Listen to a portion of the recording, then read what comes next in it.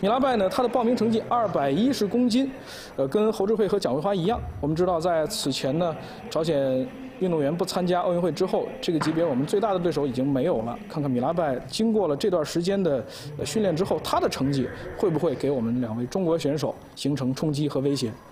好，比赛已经开始了。首个登场的运动员是来自日本的柳田瑞纪，出生于一九九二年。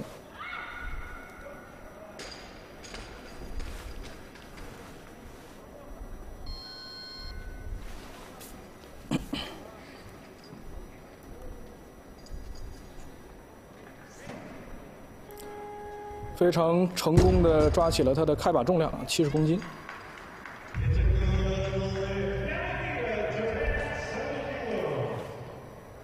柳田瑞纪呢，在二零一九年的日本全国锦标赛上啊，拿到了这个级别的第二名。他的职业呢，是一位大学的体育教师，主抓的就是在学校当中的举重社的训练。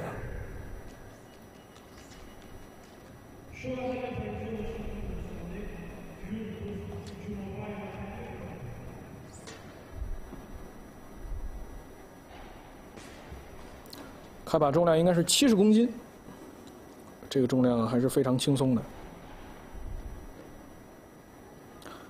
柳田瑞纪呢，之前他个人的抓举最好成绩七十八公斤，挺举是九十八公斤，总成绩一百七十六公斤。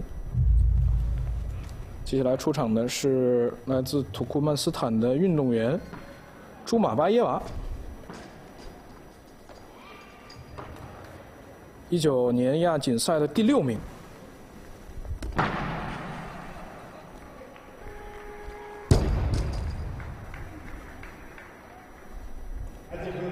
第一把试举并没有能够特别好的进入到状态当中啊。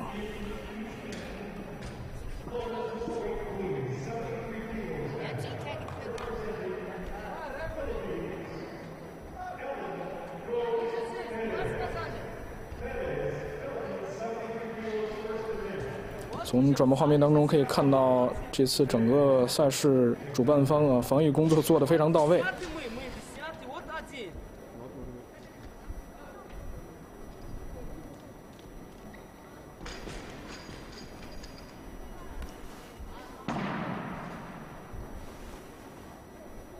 嗯，朱马巴耶娃刚才这把试举应该是没问题啊，不知道他的教练在跟裁判员争论什么。接下来出场的是来自于菲律宾菲律宾的小将，出生于九八年的年轻运动员佩雷斯。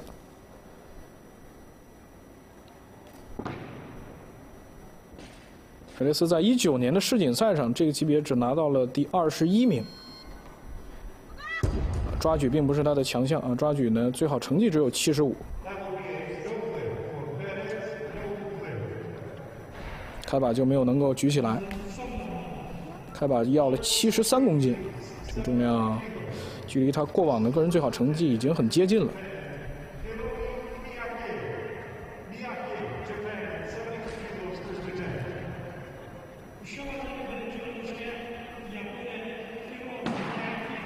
好，接下来出场的就是日本的名将三宅宏实，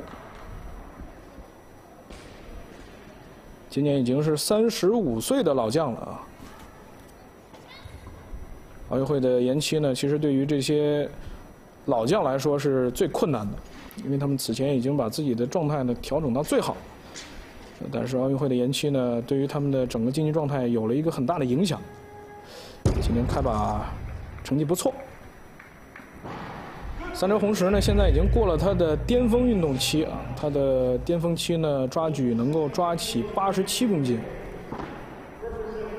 在伦敦奥运会的时候，他参加的是四十八公斤级的比赛，但抓举能够抓起八十七。今天开把呢也只要了七十三公斤。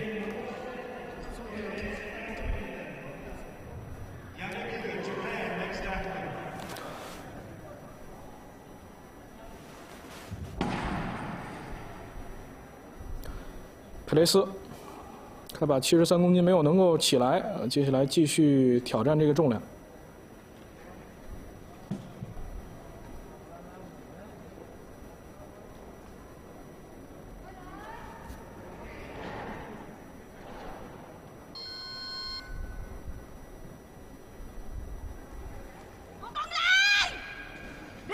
嗯，能力已经完全到了，就是开把的第一把有点着急。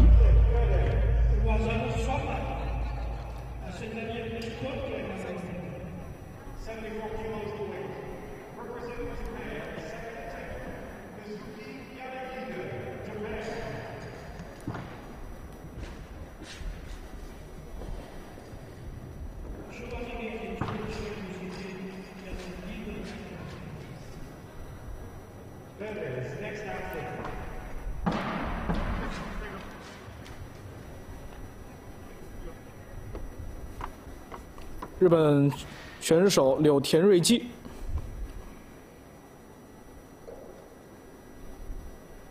过往的抓举个人最好成绩七十八公斤。其实开把成功之后，第二把加到了七十四公斤。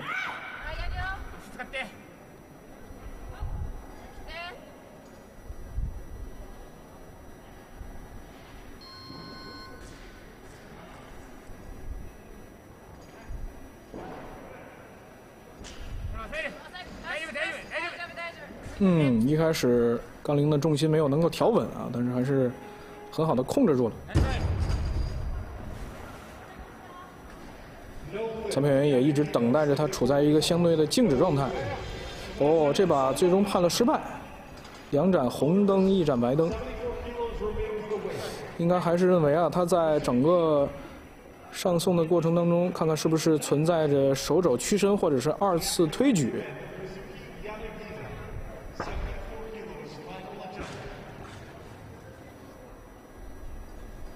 看上去应该还好，裁判员的判罚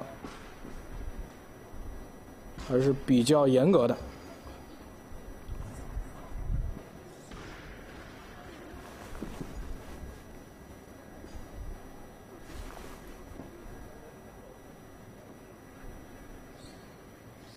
嗯，看到仲裁这边应该是对刚才三名裁判员的判罚。提出了一些意见，看看仲裁最终要不要改判这把。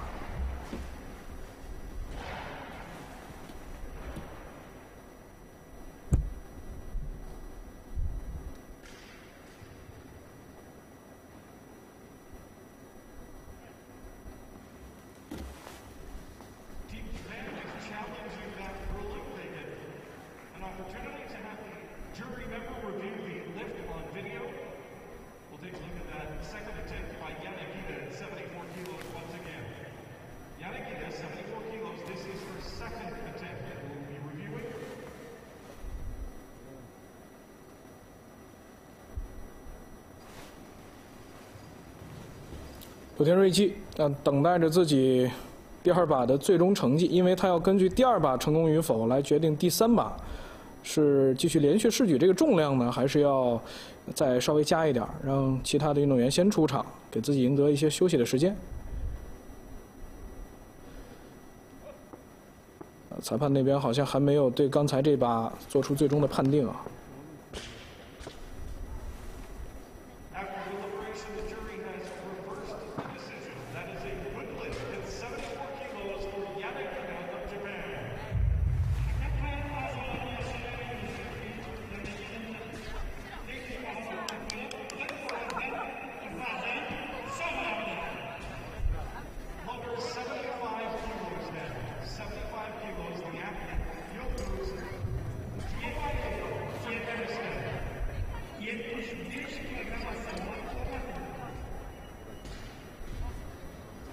由于这次呢，我们也没有办法去到现场为大家带来现场的转播啊，所以有些信息 没有办法第一时间看到。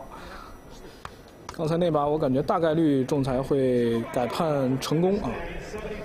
好，接下来要出场的是土库曼斯坦的运动员朱马巴耶娃，因为如果刚才那把柳田瑞纪再被判失败的话，他大概率会连续试举。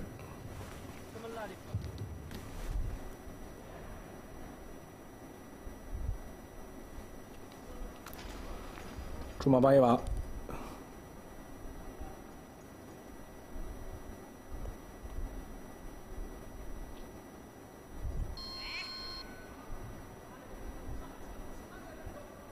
第二把加到了七十五公斤。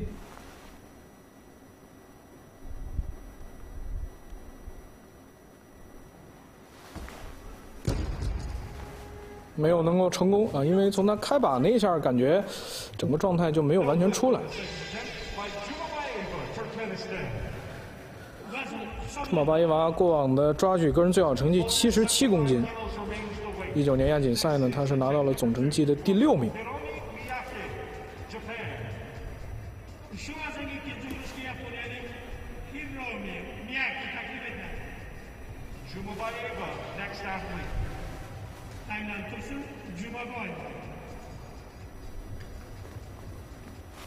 好，来看三宅红石，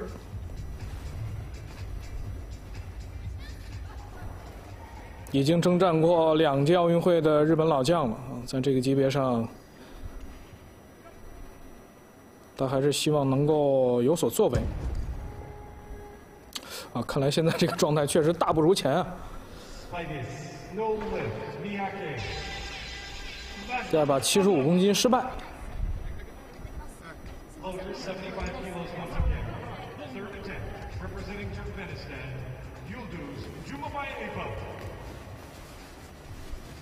Macedonya, 3. Norveçka Yulduz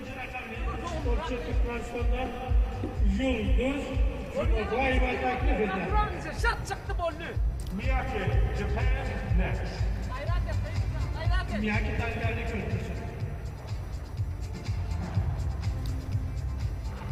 好，来看朱马巴耶娃，第三把继续来举七十五公斤这个重量。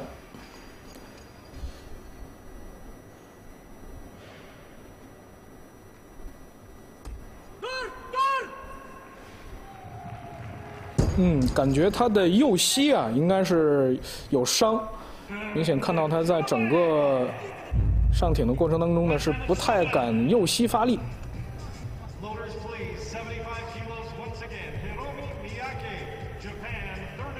嗯，上送这一下呢，他的右膝，呃，有一个明显的一个保护性的动作，整个重量往左膝稍微偏了一下。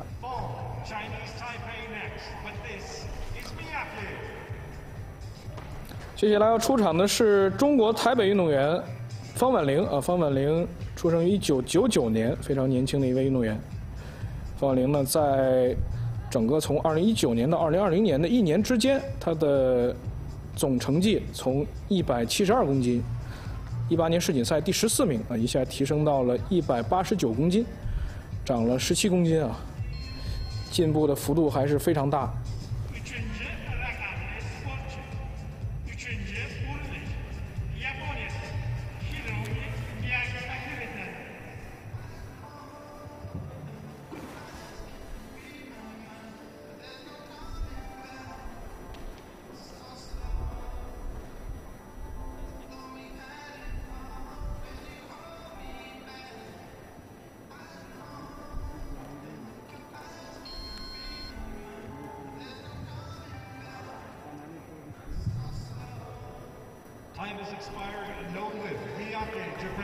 方婉玲呢，在二零二零年一月份参加了美国进行的阿诺德体育节举重挑战赛啊，在那次比赛当中，他完成了抓举八十五公斤、挺举一百零四公斤，总成绩一百八十九公斤的成绩。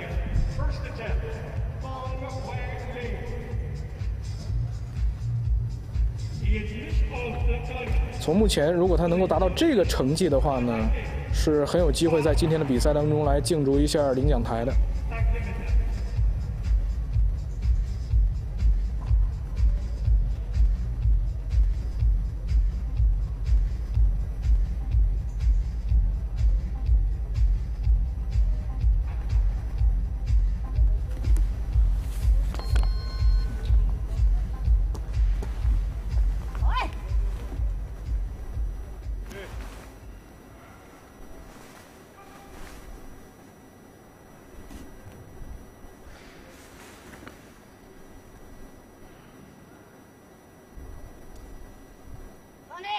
嗯，非常稳，动作非常扎实的一位运动员。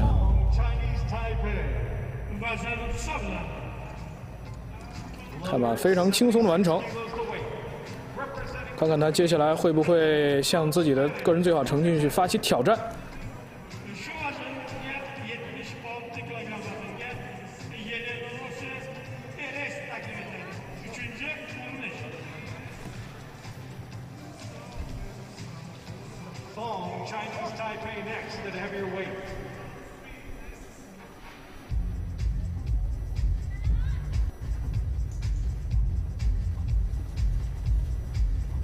接下来是菲律宾的运动员佩雷斯，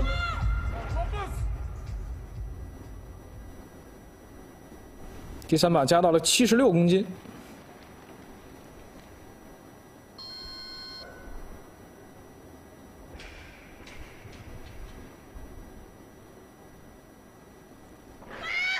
嗯，杠铃明显是没有把高度带够，杠铃的重心还在前面。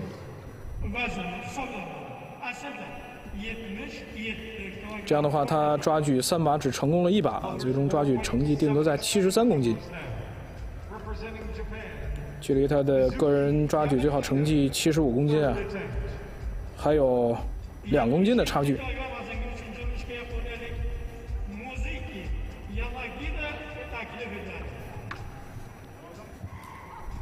接下来要上场的是柳田瑞纪啊！果真，柳田的第二把试举七十四公斤，是被仲裁啊改判成功。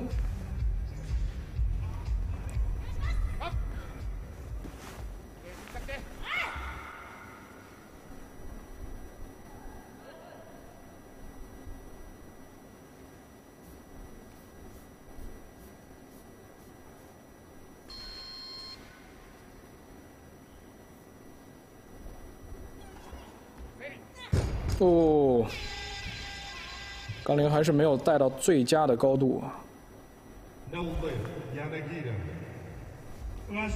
七十七公斤没有起来啊，这样抓举的成绩定格在七十四，也没有达到个人的过往抓举最好成绩。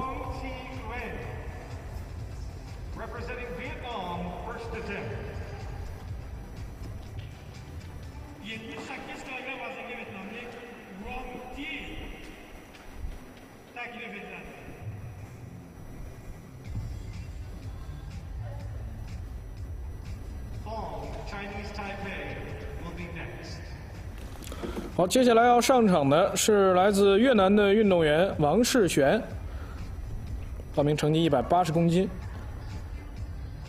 在二零一九年呢，他参加的全部都是女子四十五公斤级这个非奥级别的比赛。那么在四十九公斤级的参赛过往成绩当中，抓举能够抓起八十三公斤的个人最好成绩啊。在抓举方面，他还是有一定的实力，但是在挺举这个环节上是他的弱项。过往挺举只挺起过一百公斤的个人最好成绩，非常典型的一位抓强挺弱的运动员。但是今天抓举这个开把也没有能够起来。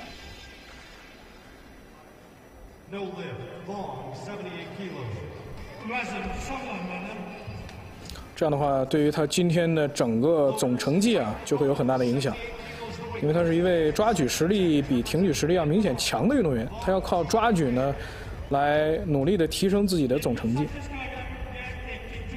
第一把没起来的话，就很难啊，让自己的抓举定格在一个个人最好成绩上。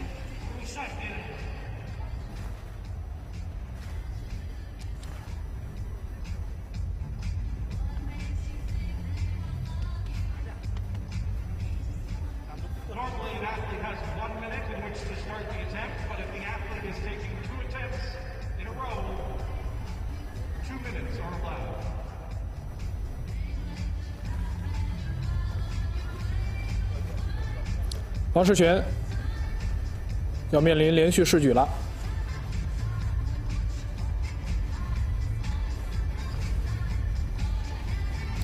目前的十位 A 组运动员当中啊，还有四位运动员没有出场，分别是来自印度的名将米拉拜，来自印尼的温迪艾萨，以及两位中国运动员侯智慧和蒋慧花。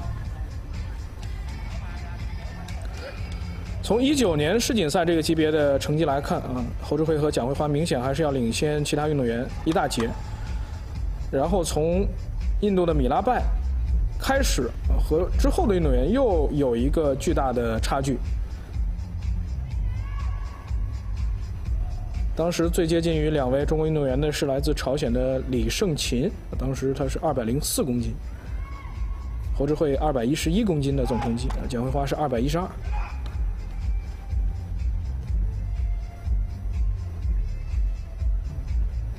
越南的王世璇连续试举。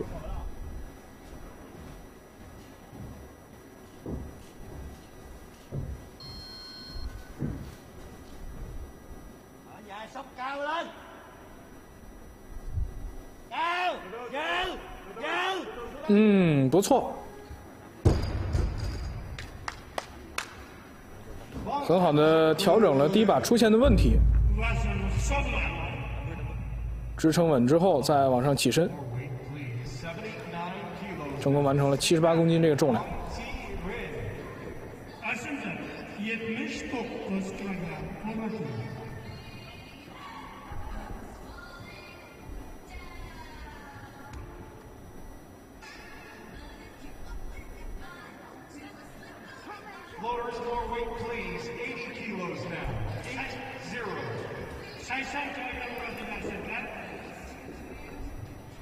中国台北运动员方婉玲，第二把加重到了八十公斤啊！这个加重的幅度呢，并不是特别的大，还是要在今天这场比赛当中啊，保证自己的成功率。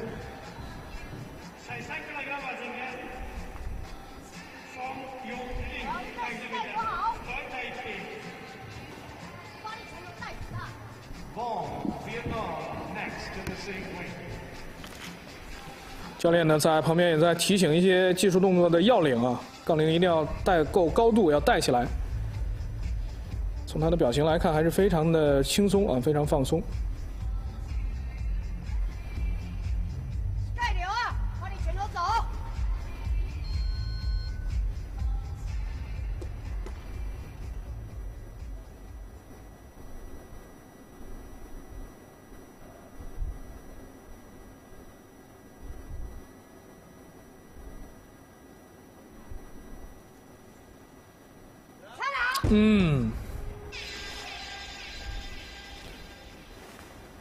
一会儿看看有没有侧面的镜头啊。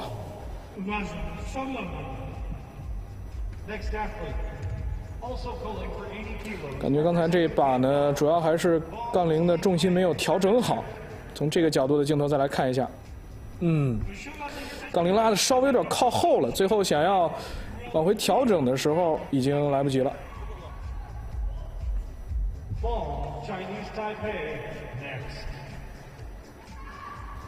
这样的话，今天方婉玲要想达到自己在二零年初达到的抓举八十五公斤个人最好成绩，就很难了。由于很久没有参加这种国际大赛了，所以从今天已经出场的运动员可以看到，可能在正式的比赛当中还是有点紧张，整个个人的最好状态呢没有办法完全调动出来。越南的王世璇，短时间之之内呢是第三次要上来试举。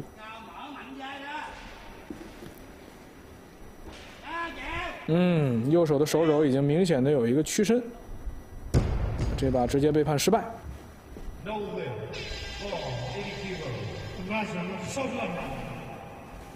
这样的话，他的抓举成绩定格在七十八公斤。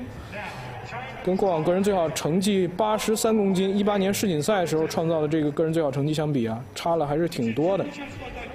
从一八年到二一年这段时间当中呢，并没有把自己的成绩给提升，或者说在训练当中他已经很好的提升了自己的成绩，但是在比赛当中呢，没有能够表现出来，呃，这是最让人感觉到遗憾的。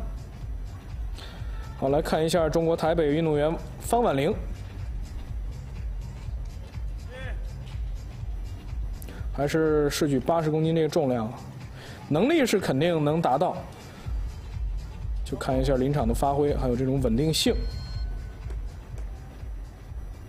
腰不能松，杠铃带的位置呢要到位。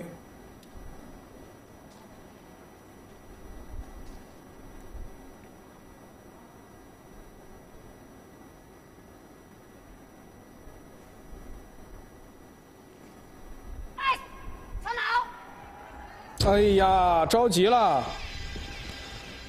还没有完全撑稳的情况之下就起身要站。对于年轻运动员来说呢，这就是他们需要去交的学费。希望他能够在比赛当中啊，通过这种经验的累积，快速的提升自己。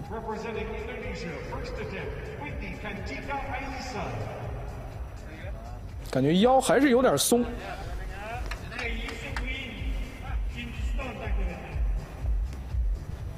因为从下蹲啊到起身的这个过程当中，你的腰力是非常关键的，腰部的力量支撑。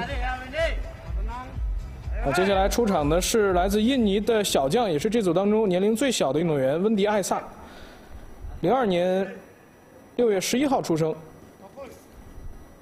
今年只有十八岁的小将啊，身材属于修长型。看一下今天的开把情况。哦，能力很强啊！温迪艾萨呢，也是一位很明显抓举要强于挺举的运动员。他的抓举呢，过往能够抓起八十六公斤的个人最好成绩，但是挺举只有一百零四。像他这种身材的运动员呢，也是很容易啊出现这种抓举强、挺举弱的情况，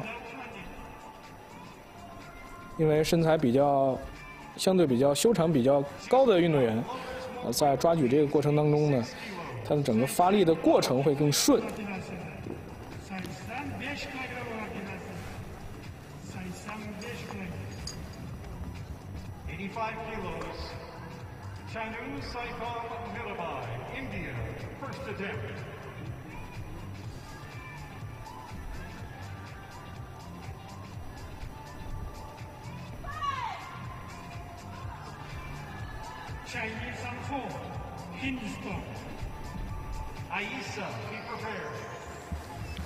好，接下来就是今天啊，对两位中国运动员威胁最大的选手，来自印度的名将米拉拜。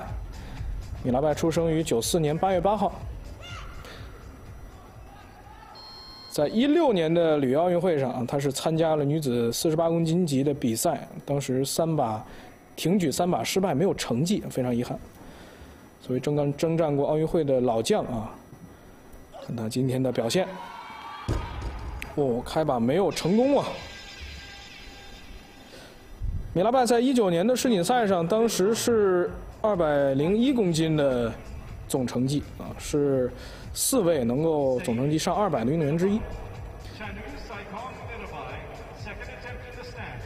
在他之后，其他的运动员。跟排名前四的运动员，也就是跟姆姆呃米拉拜之间又有一个比较大的差距，所以目前在这个级别呢，亚洲还是领先世界。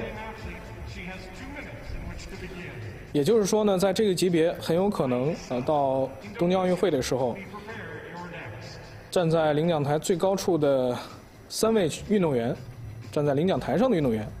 都是来自亚洲，当然这个级别目前最具竞争力的还是蒋慧花和侯智慧。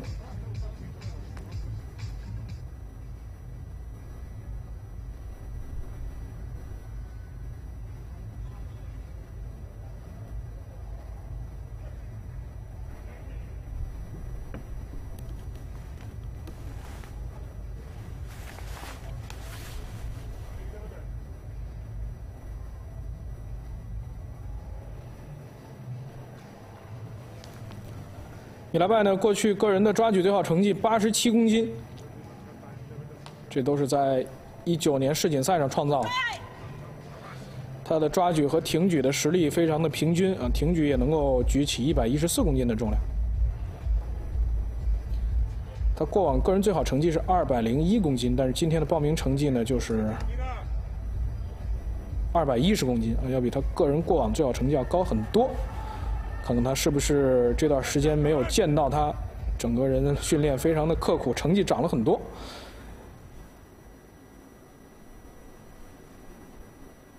连续试举八十五公斤这个重量。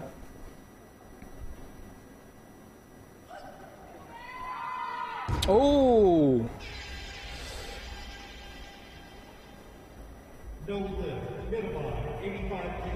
他自己也感觉很迷茫啊，因为这个重量理论上来讲，对于他来说是很很轻松能够完成的。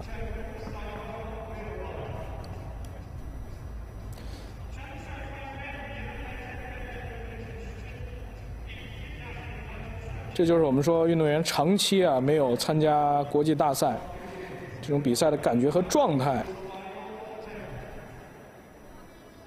很难在短时间内快速进入。所以，呃，国家举重队呢，在每次的大赛之前，都会在队内进行这种高台的模拟比赛。这次的亚锦赛呢，我们也进行了赛前的高台模拟比赛。在那次比赛当中呢，根据报道啊。有几位运动员也达到了或者说超越了个人过往的最好成绩，这也让我们对于2021年的亚洲举重锦标赛更加的期待。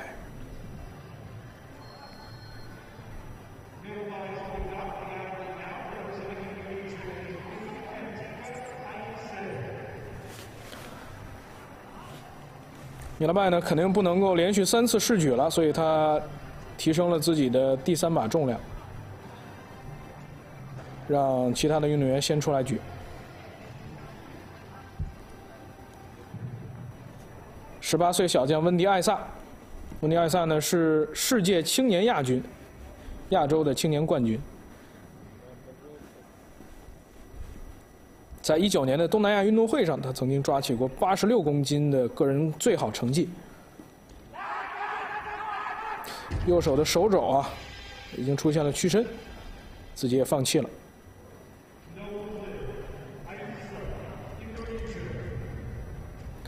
如果这把举起来的话，就是凭个人最好成绩。第二把没有能够成功。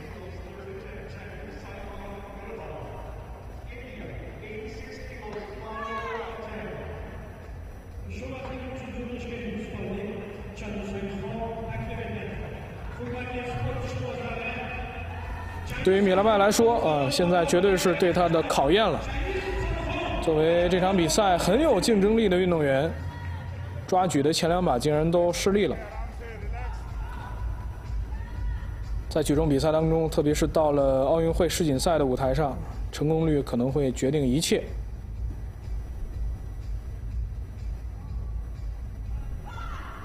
因为只有成功了，你才有成绩。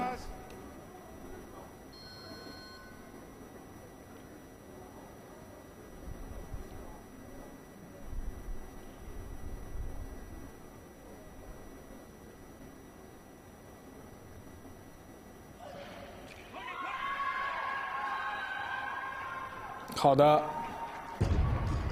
这个重量对他来说感觉应该是很轻松的，但是前两把不知道什么情况啊，竟然全部都失败了。最终他的抓举成绩定格在八十六公斤，这样今天这场比赛要想威胁到两位中国运动员，基本上就很难了，因为侯志慧和蒋惠花单抓举一项啊。就能够赢米拉拜将近十公斤啊！所以今天这场比赛肯定还是侯志慧和蒋惠花两位中国运动员之间的对话。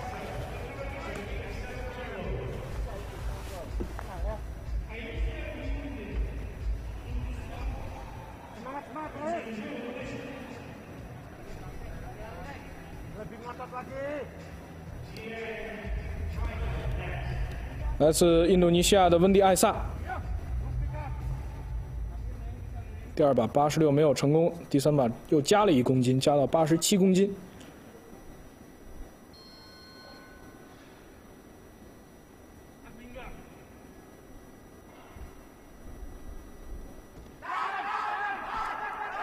好的啊，能力还是很强的，这样的话他就超越了个人过往抓举最好成绩。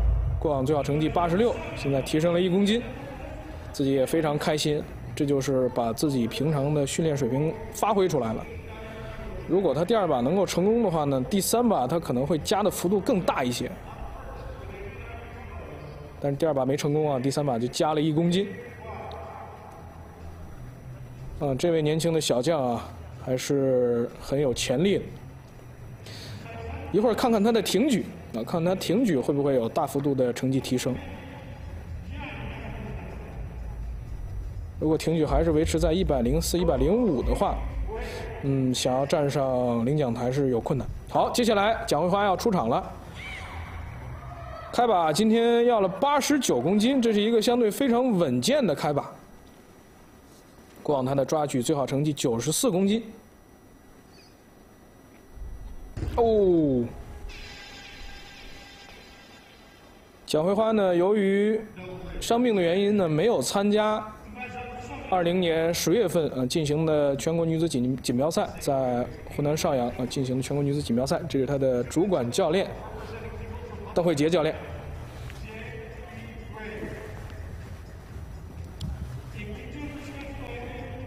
当时呢，我是在现场看到了蒋慧花啊，她是还是由于整个教练团队啊，中中国举重队对他的保护，所以他没有参赛。相对而言呢，他就比侯志慧少了一次参加这种大型比赛的机会，所以整个比赛的临场状态需要去适应一下。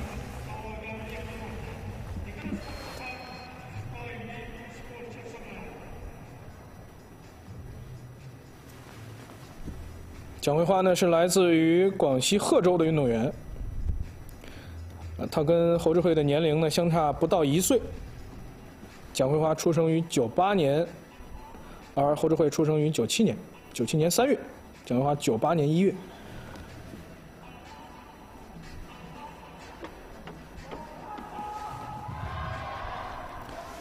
成功率呢一直都是中国举重队重点要求的啊。开把的失利啊，应该会罚钱的啊。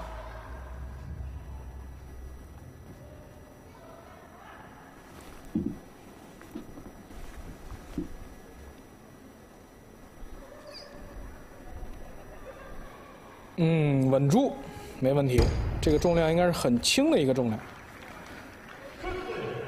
那么这样一来的话，这场比赛对于蒋慧花就不是特别有利了。因为呢，蒋慧花跟侯智慧相比呢，在抓举方面，侯智慧是要略强于蒋慧花。侯智慧保持这个级别的抓举世界纪录，九十五公斤，蒋慧花最好成绩九十四公斤，当然相差也不大。啊，所以在关键比赛当中啊，比的就是成功率。如果侯智慧接下来开把，呃，第一把就成的话，那这场比赛他将非常有利了。女队的副主教练王国新指导。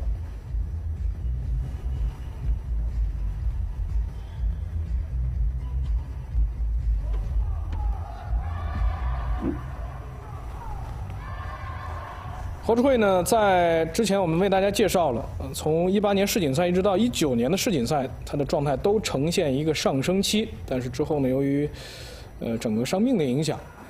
状态出现一些起伏，在比赛当中稳定性不够啊！看看今天开把能不能成功。嗯，没问题，非常的漂亮。侯志慧之前在转训海南五指山训练基地的时候，呃，在体能训练当中表现的就非常的刻苦。今天开把九十公斤成功。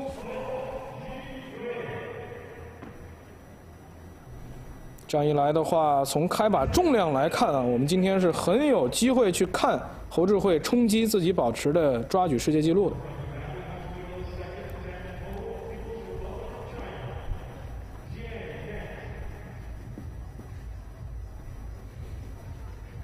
侯智慧第二把怎么去加？现在场上只剩两位中国运动员，蒋慧花和侯智慧。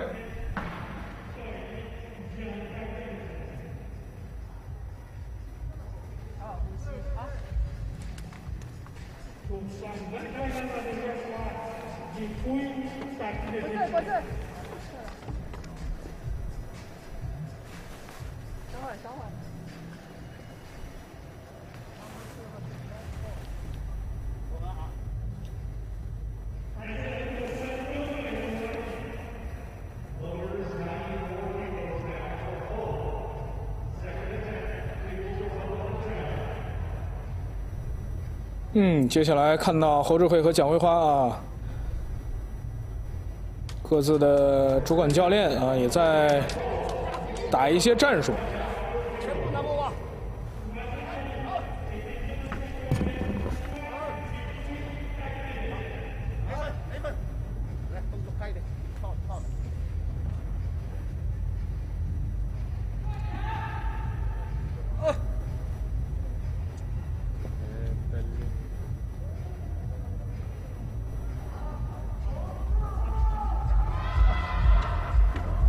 来看侯志慧的第二把，第二把呢是要到了九十四公斤啊，距离自己保持的九十五公斤世界纪录呢只差一公斤。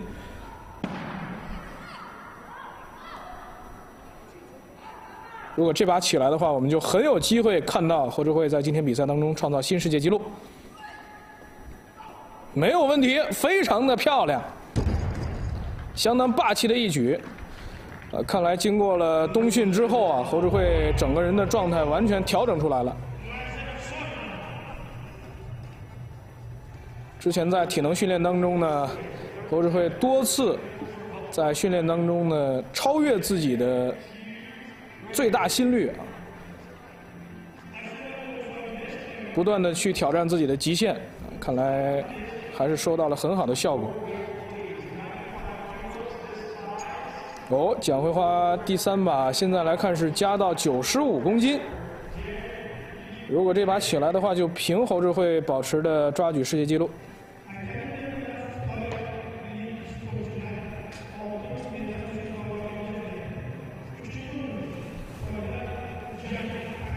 而且，如果这把起来的话，也会超越自己过往抓举的个人最好成绩九十四公斤。嗯，这是他在二零一九年的世锦赛创造的。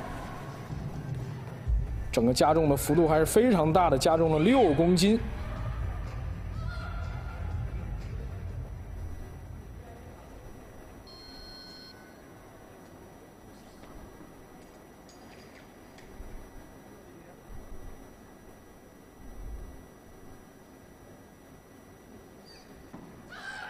嗯，没起来。这样一来的话，就期待蒋慧花在她的强项挺举上啊，看看她今天的表现了。抓举这样一来，只有八十九公斤的重量啊，跟侯志慧还是差的挺多的。侯志慧第三把很有可能会加到九十六啊。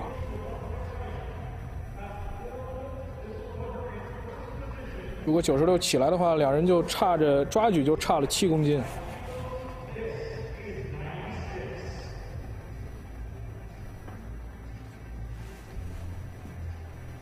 杠铃还是没有带到位。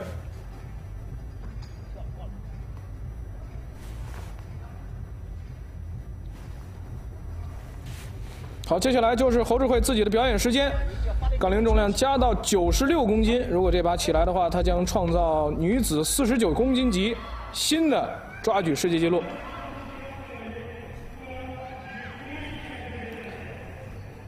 一起为侯志慧加油！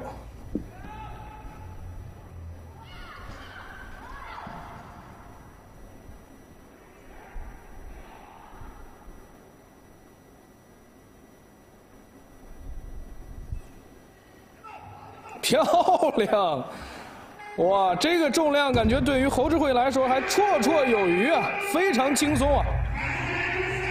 恭喜侯志慧，在这届的举重亚锦赛当中为中国举重队开了一个非常好的头啊！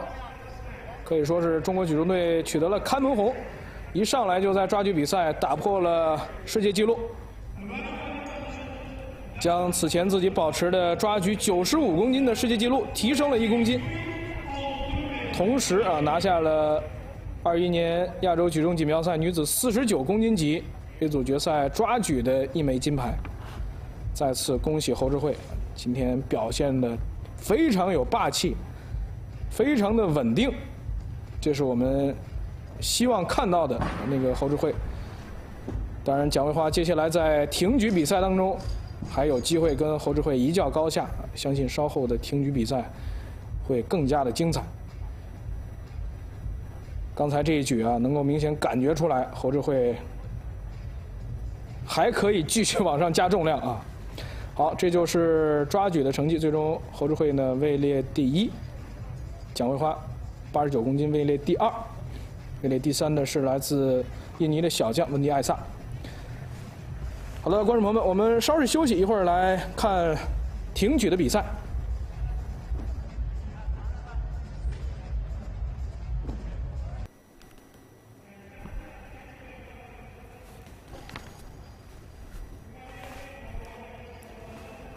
好的，我们一起跟随转播镜头，再次回到乌兹别克斯坦的首都塔什干。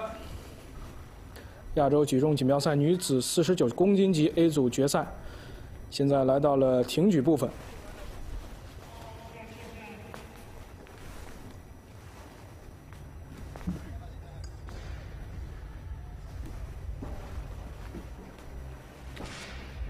挺举比赛当中，首先要出场的还是来自日本的运动员柳田瑞纪。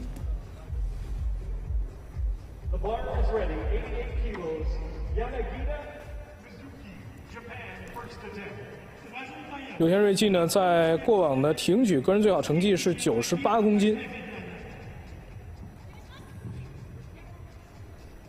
今天开把重量是只要了八十八公斤啊。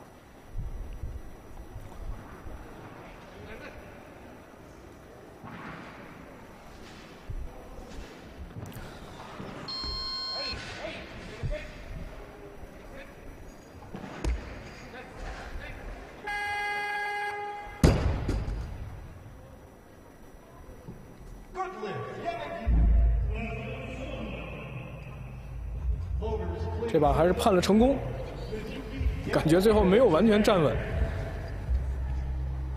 对于日本举重队来说呢，作为东道主，他们拿到了东京奥运会全部的啊参赛资格，但是呢，日本举重呢在大多数的级别上都没有特别明显的优势。他们最大的目标还是争取能够站上领奖台。但是像之前呢他们的优势级别女子的小级别，像三宅红石这样的名将，由于年龄的增大，加上自己状态的下滑，这次比赛来看呢，状态也已经是大不如前。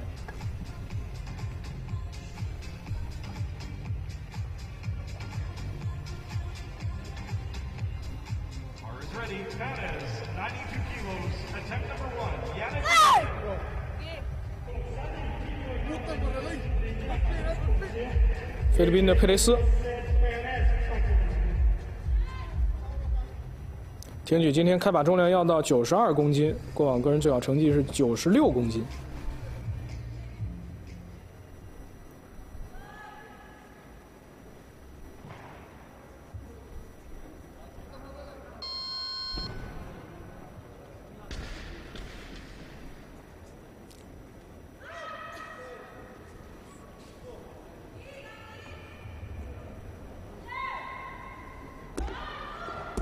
嗯，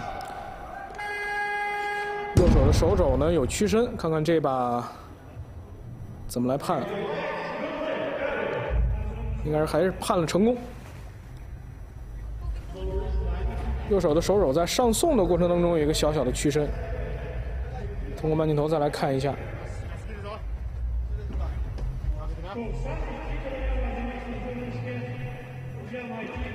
哦，还好啊，还好。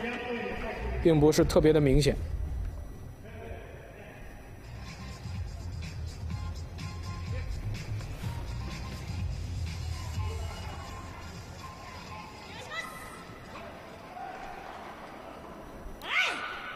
田瑞纪的第二把试举九十二公斤，如果照这个加重幅度的话，他今天应该不会冲击过往个人创造的最最好成绩九十八公斤。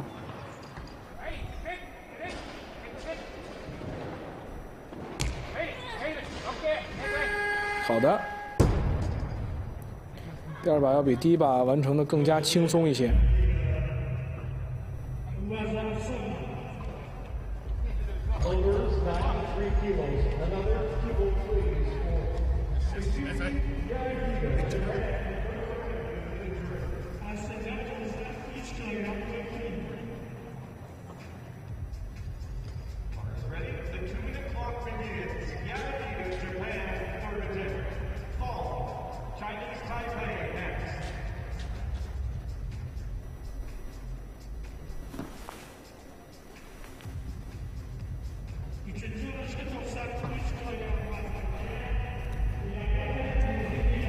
组的运动员当中呢，大部分运动员他们的挺举水平啊，呃，都不是特别的理想。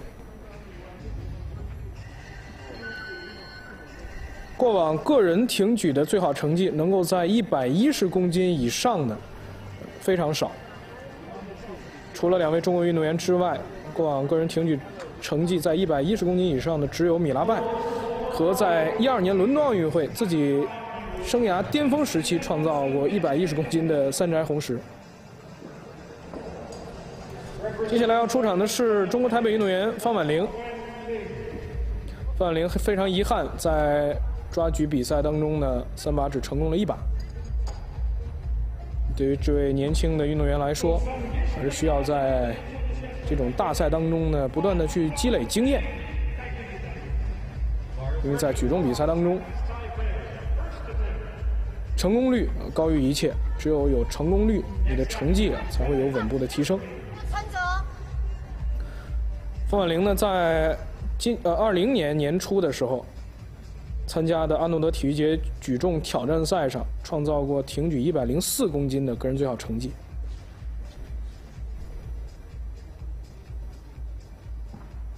这是他在国际举联认证的赛事当中啊取得过的挺举个人最好成绩。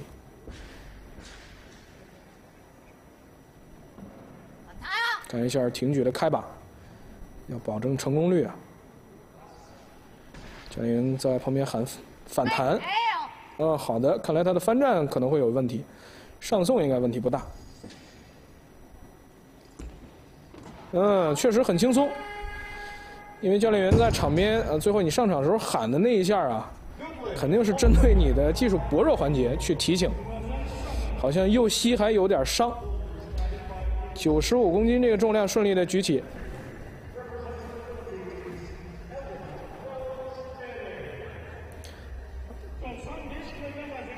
翻站这一下呢，也讲究一些借力打力，利用这个反弹力，顺利的完成了翻站。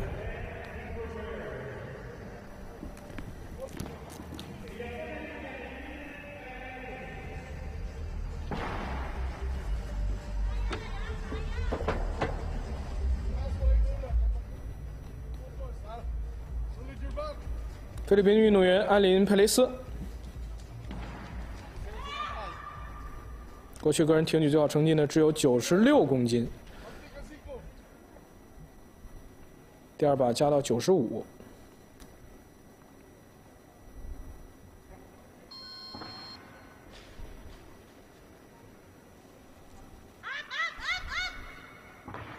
哎呦，没有翻起来。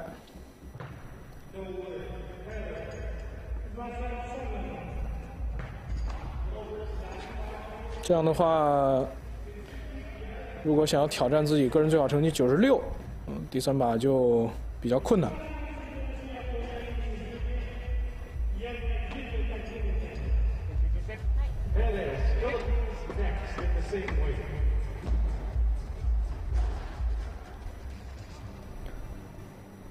柳田瑞纪，第三把重量加到九十五公斤。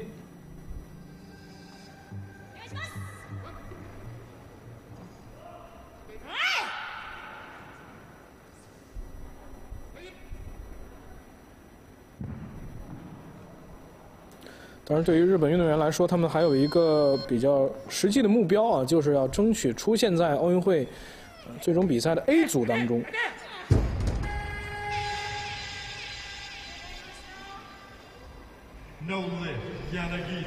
因为在奥运会比赛当中呢，B 组是基本上是不会转播的。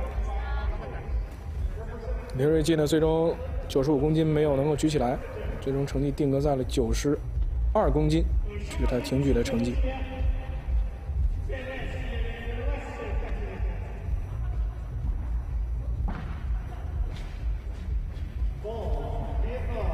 一位大学的体育老师，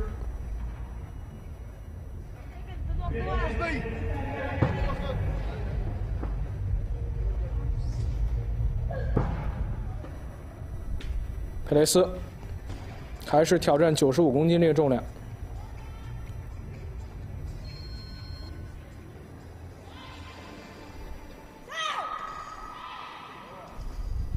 可以说在今天比赛当中呢除了两位中国运动员之外啊其他的运动员到目前为止啊都没有能够达到过往自己的个人最好水平。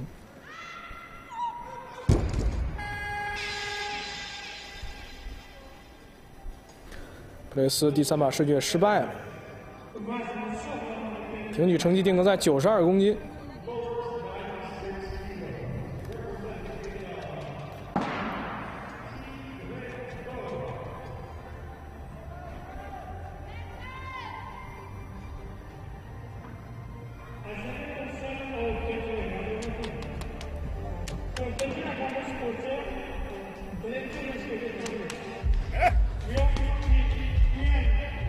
接下来要出场的是来自越南的王世全。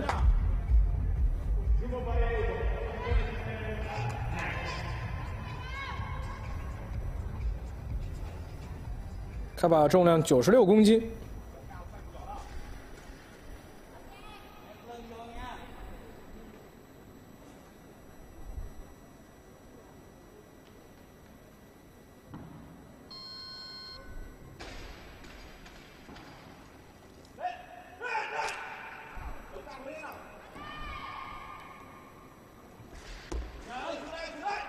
非常轻松，翻站和上送都非常轻松的完成。过往他挺举最好成绩达到过一百公斤，今天很有希望去冲一冲这个重量。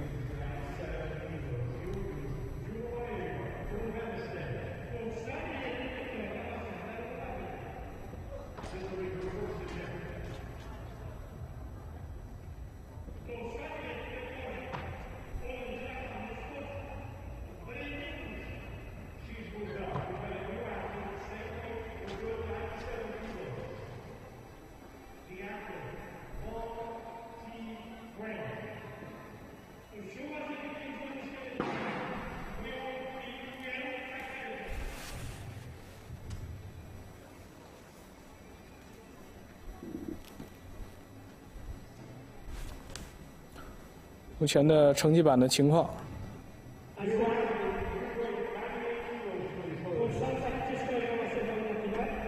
好，三宅红石要出场了。三宅红石呢，过往在挺举比赛当中啊，个人生涯巅峰时期，一二年伦敦奥运会女子四十八公斤级比赛，她曾经是挺起过一百一十公斤的重量。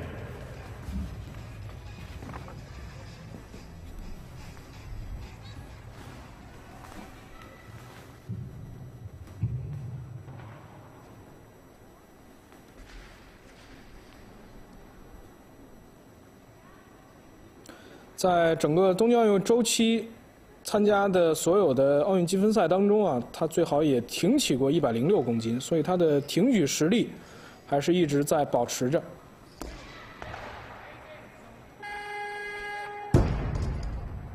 应该是被判失败了，两盏红灯。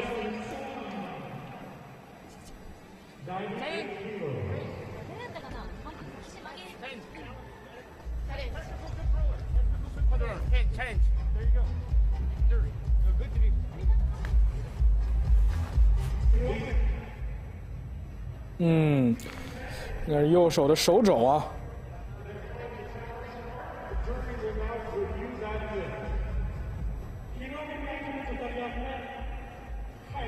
咱们可能认为他的手肘有一个二次发力的一个动作，在杠铃达到最高高度之后呢，又有一个上送的这样一个动作，下降之后再上送的这样一个动作，虽然很细微，但是这样的动作被抓的是很严的。但是仲裁这边啊，好像又要对于裁判员的判罚提出自己的意见。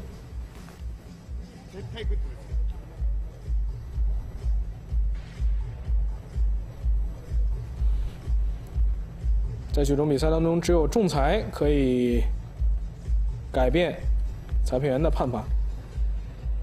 三名裁判员呢是坐坐在举重台的左、中、右三个方向。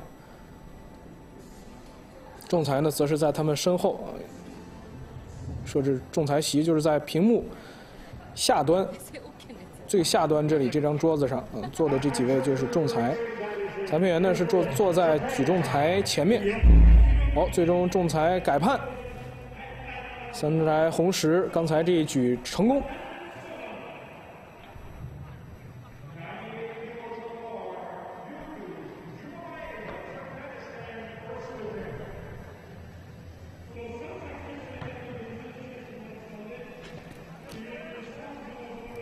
奥运会的推迟，对于像三宅红石，还有中国举重队吕小军啊这样已经三十大几的老将来说，确实很不容易啊。他们在过往的训练比赛当中，已经累积了太多的疲劳和伤病。经过艰苦的训练，终于要等到奥运会了！但是奥运会却因为疫情的原因呢，推迟一年来进行。他们也需要在整个训练啊，包括自己的伤病上做新的调整。哎呦，这一下很危险，整个杠铃完全是偏的。这是我们之前说的，在抓举比赛当中就感觉啊，朱马巴耶娃他的右膝应该是有伤。刚才这一举又是明显在上送的时候，有一侧就不敢发力的，就导致。杠铃上送的过程当中就已经完全偏了，再来看，嗯，很危险。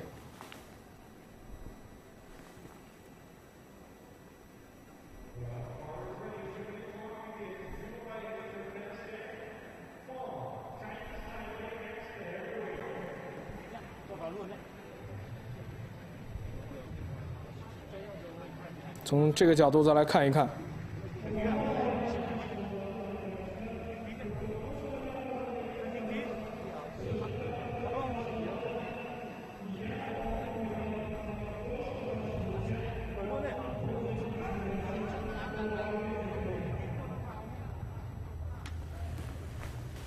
接下来要出场的还是卓玛巴耶娃，看看他会不会因伤退赛啊？从他刚才这一举的状态来看，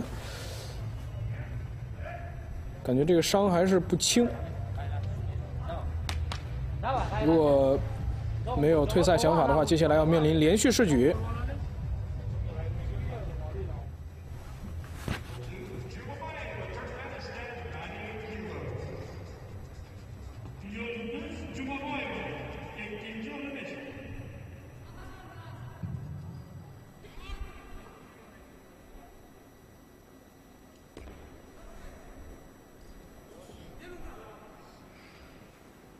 翻站没问题。哎呦，上送这下，看他的右右腿啊，右膝不敢发力，非常困难的啊，一直在调整，最终还是成功了。刚才这一把成功非常的关键，这样就让他这场比赛不会白比啊，有一个成绩。再来看一下，注意他的整个右腿、右膝关节。看他的右腿是不敢发力的，一直靠左腿在保持着整个身体的支撑，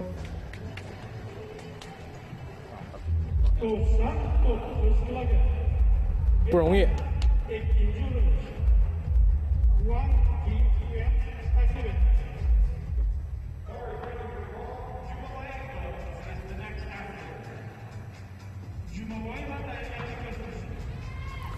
好，接下来要上场的是来自越南的运动员王世璇。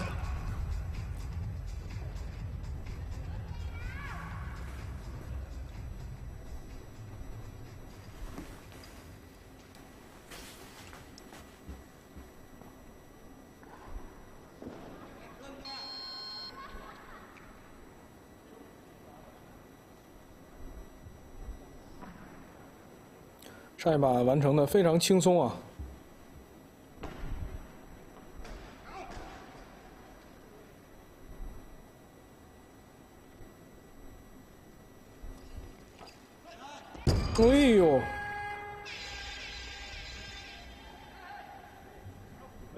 好像是等的时间有点长，而且上翻的这一下压到了自己喉管的这个位置。哦。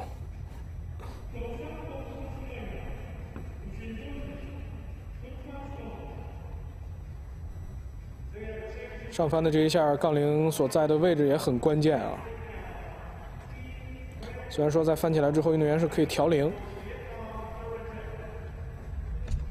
但一旦压到的话呢，想要去调整，可能都没有这个机会了，因为根本就翻不起来。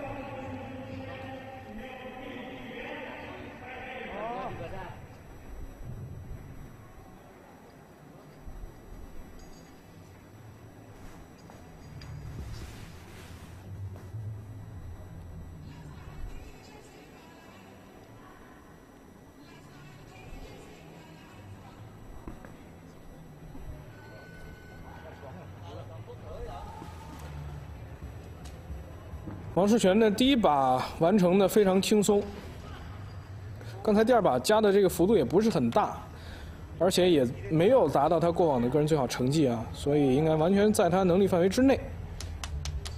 要注意翻转的过程当中啊，杠铃位置的调整。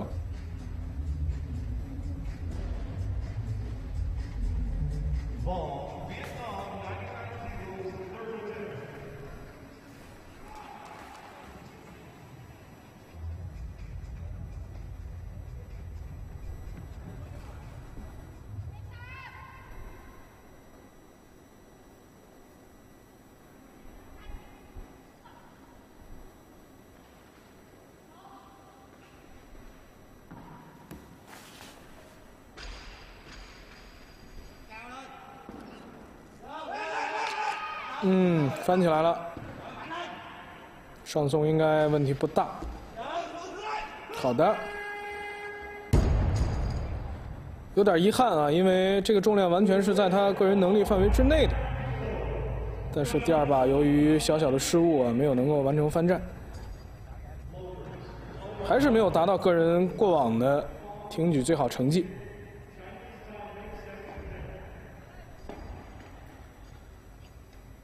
这次比赛呢，对于很多运动员来说啊，可能是奥运会比赛之前最后一次参加大赛的机会了。所以这次比赛呢，运动员们都非常珍惜，也很重视。而这次比赛的成绩呢，也可以作为一个非常重要的参考。如果在这次的比赛当中没有办法拿出很好成绩的话，接下来就比较困难，运动员们在信心上会受到打击。因为经过长时间的训练，没有比赛的情况之下，他们一直期待着能够在大赛当中啊，把自己的训练水水平给发挥出来。方婉玲，第二把试举，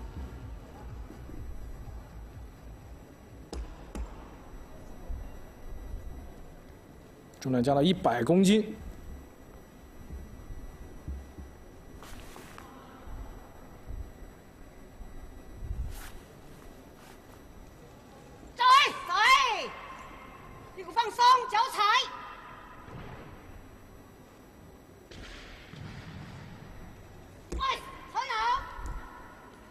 嗯，没问题，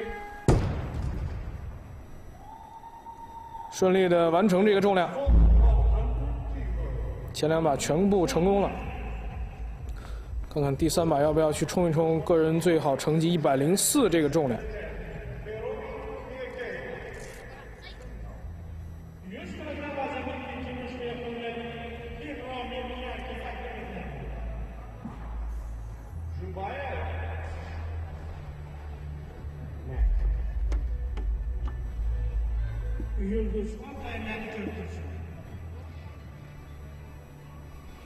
嗯，来看日本三十五岁老将三宅宏实，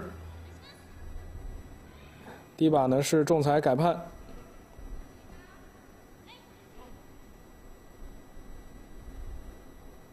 第二把加到了一百。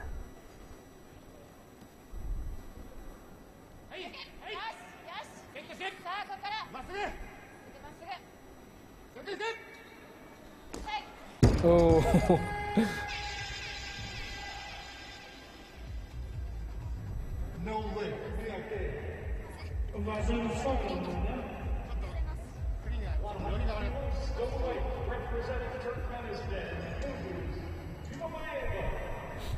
杠铃上送的这个过程当中，已经完全送不上去了。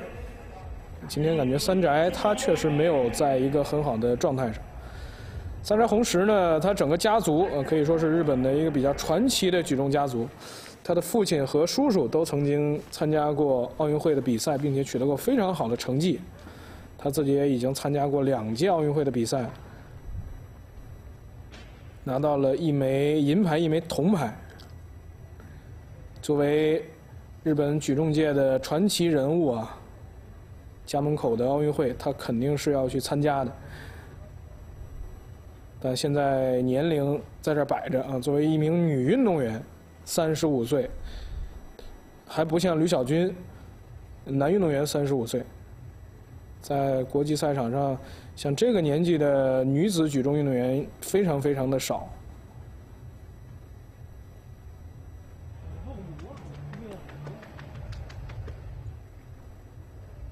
所以到这个年龄，对于三宅宏石来说，啊，现在确实是比较困难。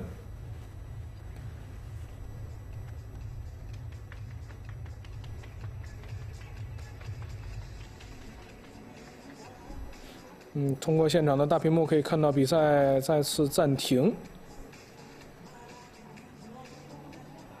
不知道现场又出现了什么情况。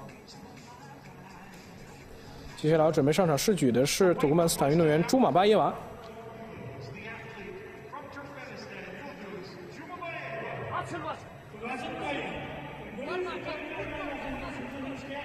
第三把重量加到一百零一公斤。第二把在右腿不太敢发力的情况之下，还是艰难的完成了。第三把加重了三公斤。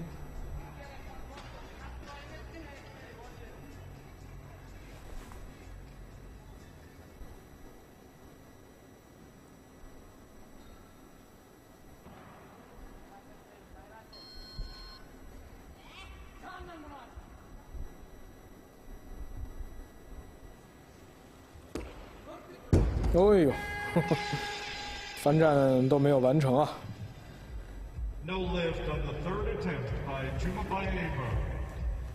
今天对于朱马巴耶娃来说呢，受到伤病的影响，整场比赛就是发挥的比较一般。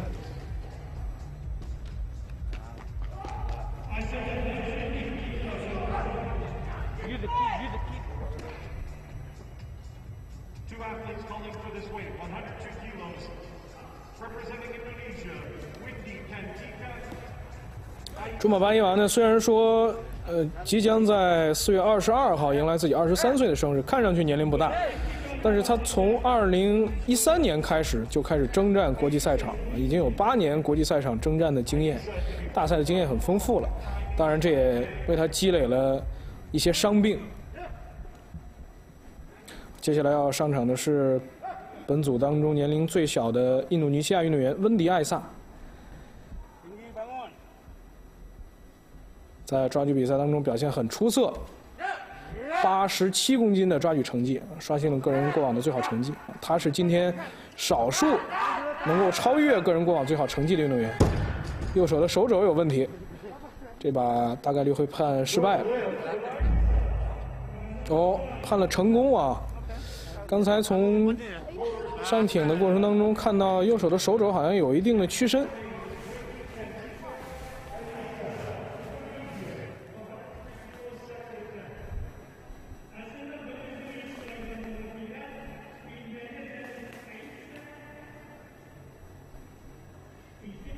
嗯，这个角度看的还不是特别的明显。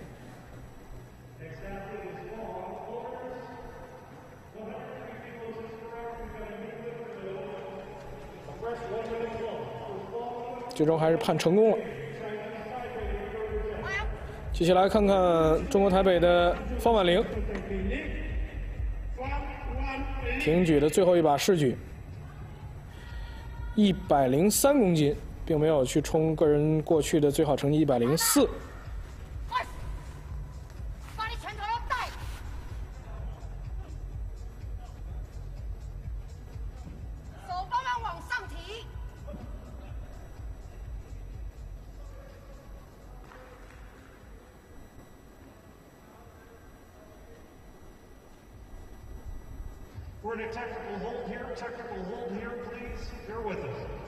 现场的计时钟好像出现了一些问题啊！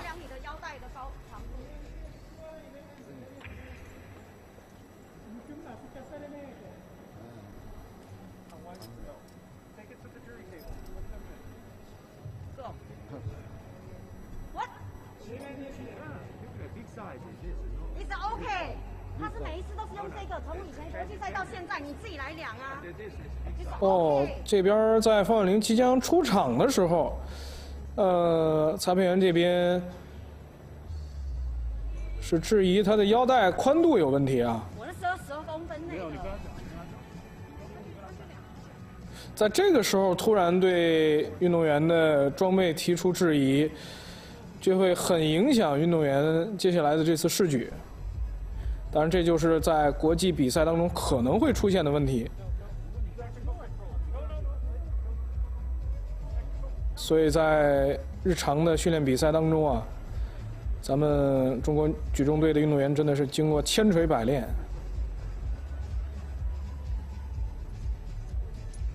才能在国际比赛当中真正稳定的发挥。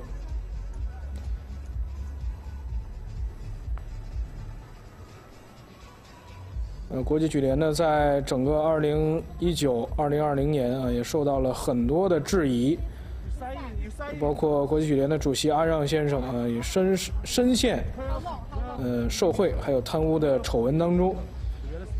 国际举联呢，是曾经长时间啊，在很长一段时间内呢，都没有一个确定的掌门人，短时间内换过三位主席。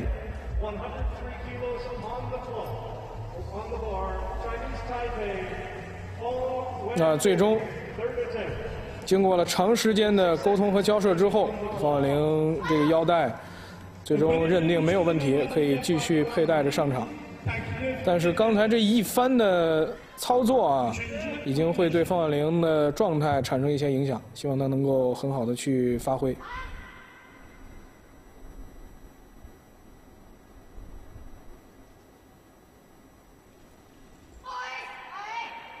不错。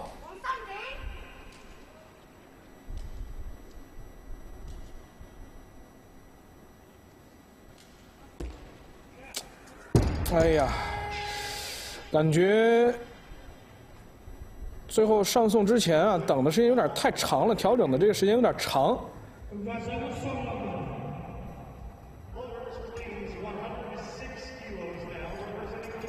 这当然也跟之前啊，这个裁判员这个对他的这个腰带的质疑啊，整个的过程会有很大的影响。冯婉玲自己还是心态保持的非常好，但是他的教练员呢，已经 对裁判员提出了自己的看法，因为在运动员即将上场的时候，突然提出这样的。质疑啊，确实会对运动员产生很大的影响。在一九年世锦赛上，我们记得当时伊朗的名将、奥运会冠军罗斯塔米啊，就经历过裁判员的质疑，最后是三把全部失败，没有成绩。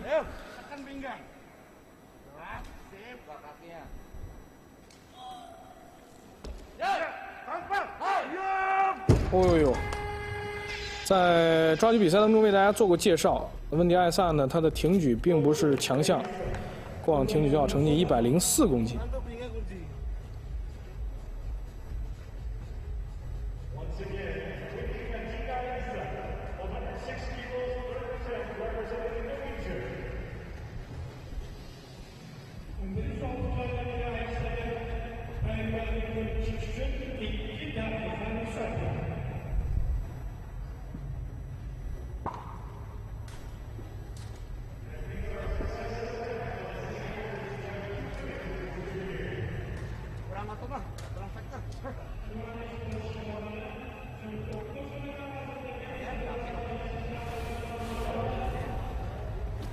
目前呢，在挺举比赛当中，只剩下印度的米拉拜，还有两位中国运动员侯志慧和蒋慧花没有出场。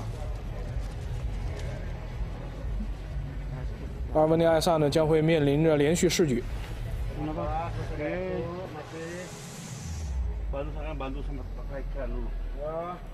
连续试举呢，中间有两分钟的休息调整时间。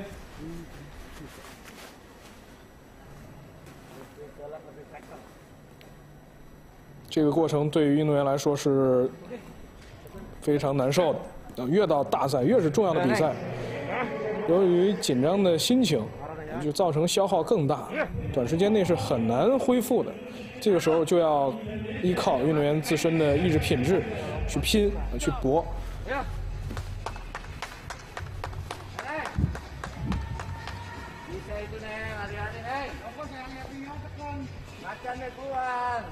第三把还是一百零六，这把起来的话也是超自己过往挺举最好成绩两公斤。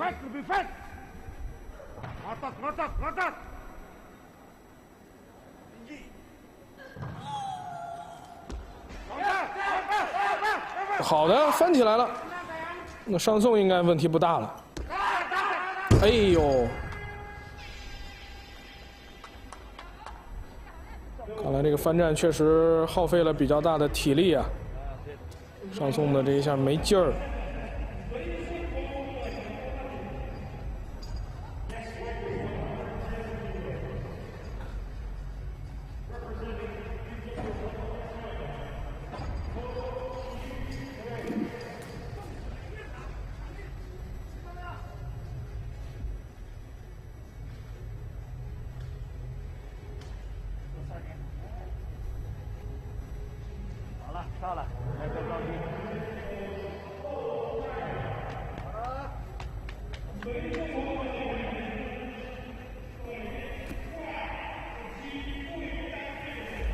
接下来侯志慧要出场了。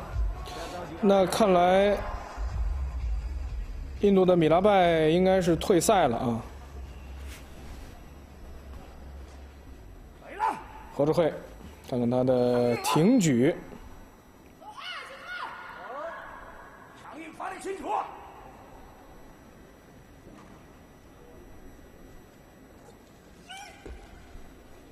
守好八点。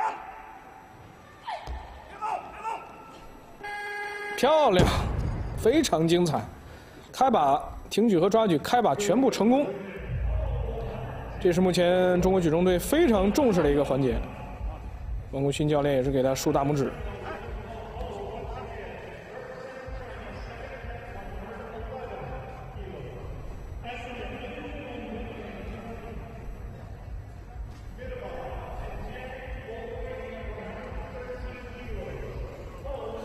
今天在整个比赛当中，侯志慧所表现出的这种霸气、自信，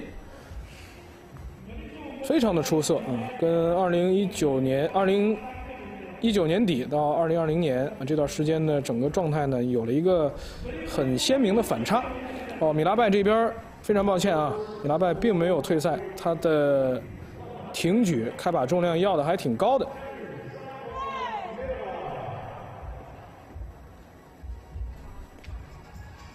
米拉拜今天挺举的开把重量就要到了一百一十三公斤啊！要知道他过往的挺举开把最好啊，挺举的最好成绩，挺举的最好成绩只有一百一十四公斤，也就是说他的开把重量只比他过往个人挺举最好成绩少一公斤。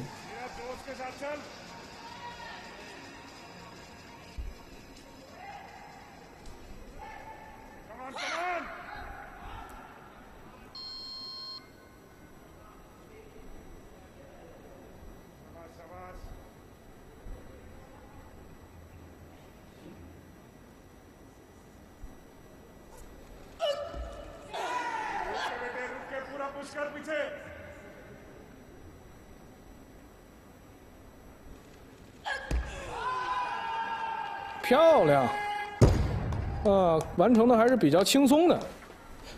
这样来看的话，米拉拜在挺举还是有很大提升的。一九年世锦赛的时候呢，挺举一百一十四公斤。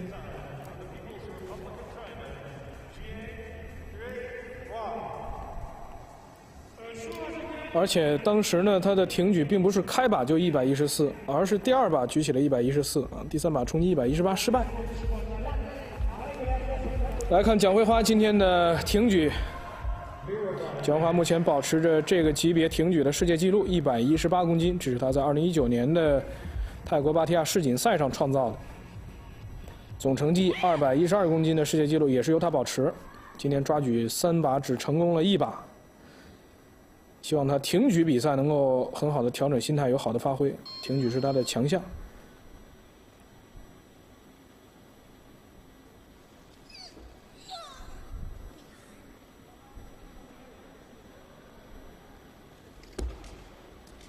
有没有问题？挺举的开把很顺利的完成了。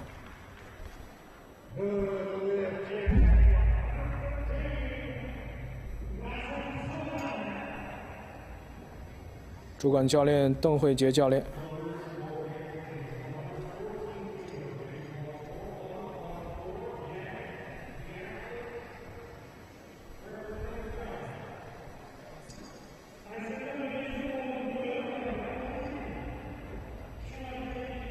由于抓举比赛比的不太好啊，感觉现在蒋慧花整个人的呃状态不是特别的兴奋，不是特别的开心。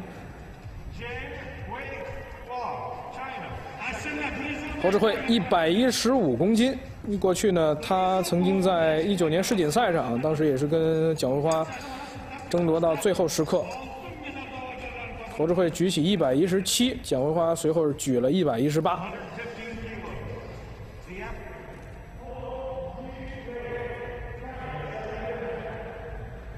侯志慧第二把要了一百一十五，毛脚教练。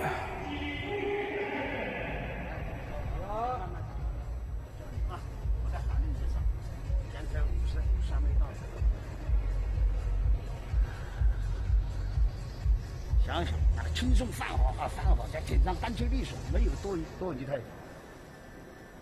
走。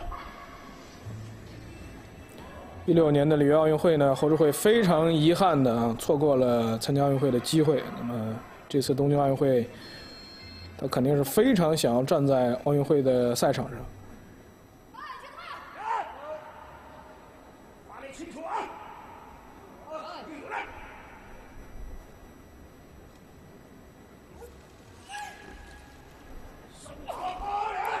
翻的没问没有问题。哦，上送的呢稍微有点急，但是最终还是凭借自己超强的能力调整回来，一百一十五公斤，成功了。侯志慧经过了在宁波的转训和海南五指山冬训之后啊，感觉整个人的状态现在已经是非常出色了。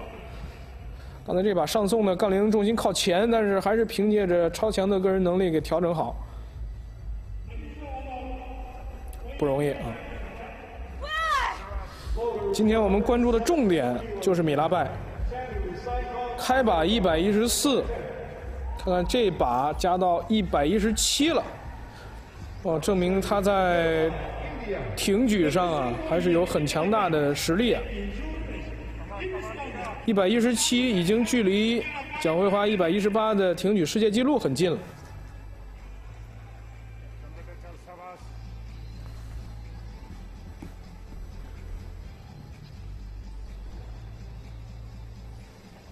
米拉拜今天呢，就是在抓举的比赛当中啊，前两把都失利了，不然的话，他今天是很有竞争力的。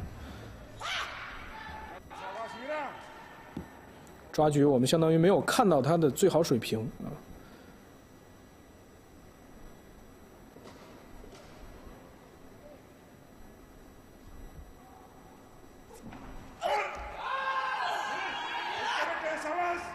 翻的不错。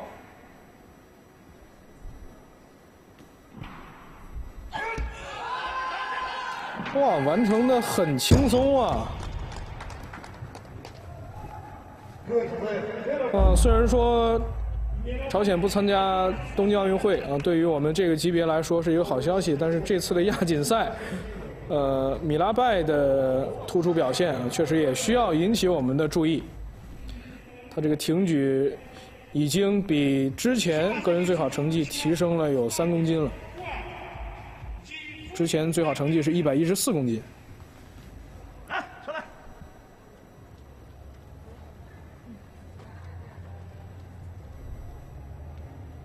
水平都要都要出来了，哎呀，强势！好了，送了啊！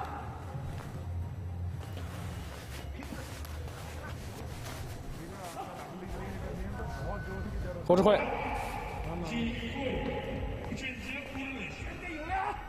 第三把加到一百一十七，啊，没有去冲个人的最好成绩。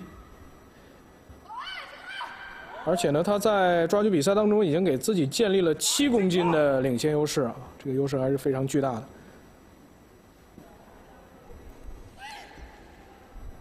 好，高点。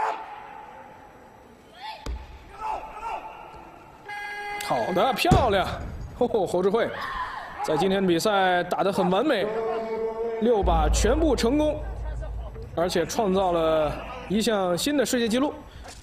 抓举比赛创造了新世界纪录，挺举比赛也平了个人过往的最好成绩。今天完成了一场高水平、高质量的比赛，而且距离奥运会越近，在大赛当中拿出这样的表现，就会给运动员增强信心。国志会其实现在这个阶段最需要的就是信心啊。这场比赛对于他来说意义非常的重大，接下来就看蒋慧花的表现了。我们现在要力争，首先要稳拿这枚挺举的金牌，因为从目前的情况来看呢，挺举米拉拜那边还有可能会冲击一百一十八这个世界纪录。蒋慧花这把要了一百一十八公斤，这是他目前保持的挺举世界纪录。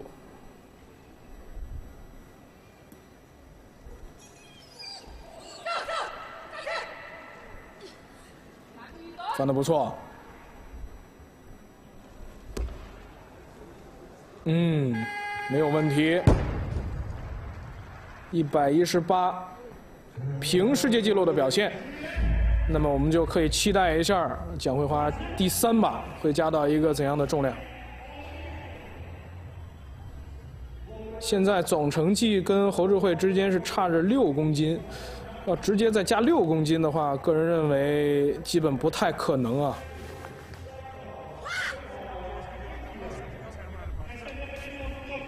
现在就是要跟米拉拜去争一争这枚挺举的金牌，呃，我们要力争保下这枚挺举金牌。米拉拜加到一百一十九，他加一百一十八已经没有意义了，因为一百一十八我已经被。蒋慧花先举起来了，所以就算他先举起了一百一十，呃，就算他举起一百一十八这个重量，也没有办法拿到挺举的金牌，所以他只能去冲击一下一百一十九。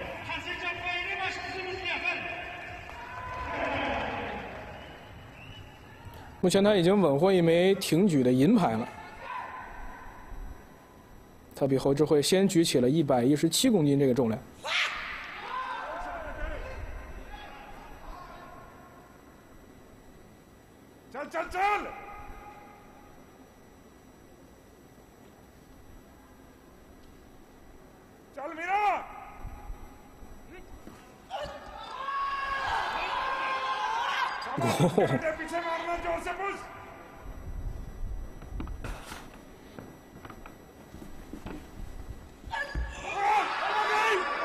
哇，能力非常强啊！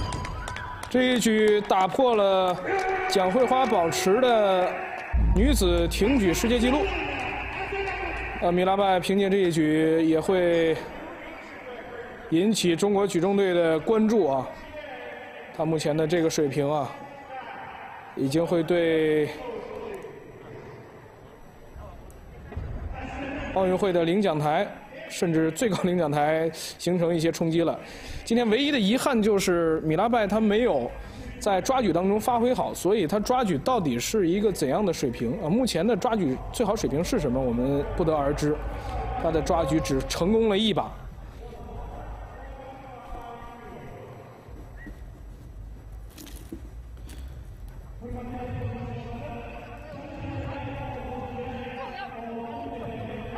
一百一十九公斤，现在米拉拜创造了新的挺举世界纪录。蒋慧花，看最后这一举能否凭借这一举，既拿下挺举的金牌，又再次刷新纪录。哇，一百二十五公斤，蒋慧花拼了！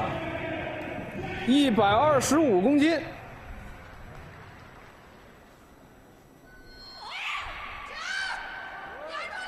这一局起来的话，总成绩他也将成为冠军啊！真是拼了。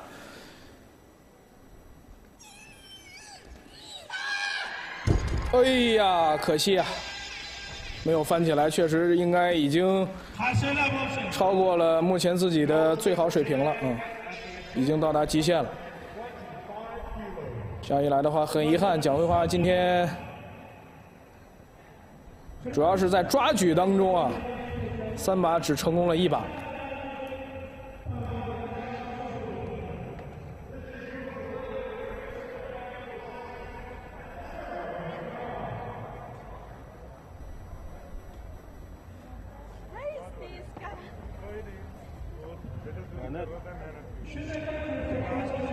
这样一来呢，这场比赛就全部结束了啊！最终呢，在抓举和总成绩两枚金牌是被中国运动员侯智慧所获得，而挺举的金牌则归属于印度的运动员米拉拜。他在挺举比赛当中打破了蒋慧花保持的女子四十九公斤级的挺举世界纪录，新的世界纪录是一百一十九公斤。米拉拜。在这场比赛当中啊，所展现的水平，需要引起中国举重队的重视了。在抓举比赛当中呢，相信侯志慧目前九十六公斤这个成绩，想要达到的话还是很难的。再次恭喜侯志慧，今天在这场比赛当中拿下两枚金牌，创造一项世界纪录。而蒋慧花呢是总成绩的银牌获得者，米拉拜凭借着。挺举的超强发挥，直接升到了第三位，成绩二百零五公斤，总成绩也要比一九年世锦赛的时候提升了三公斤啊。好的，各位观众，我们为您带来的二零二一年亚洲女子举啊亚洲举重锦标赛女子四十九公斤级 A 组决赛的转播到这里就结束了，希望您在接下来继续关注本届赛事的转播。好的，观众朋友们，再见。